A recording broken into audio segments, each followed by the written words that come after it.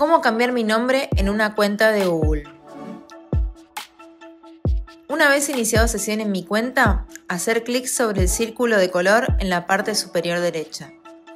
Allí debo cliquear sobre la opción Gestionar cuenta de Google. Al ingresar, tengo que acceder a la opción Información personal y allí dentro de la solapa Perfil, al seleccionar nombre y apellido, podré efectuar el cambio del mismo.